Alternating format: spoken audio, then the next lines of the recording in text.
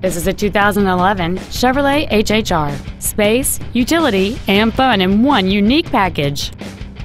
It has a four-cylinder engine and an automatic transmission.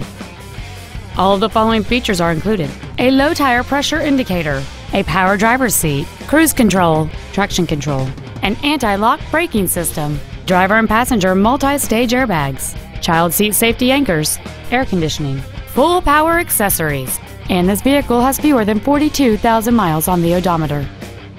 With an EPA estimated rating of 30 miles per gallon on the highway, this vehicle does not compromise its fuel efficiency for size, comfort, or fun.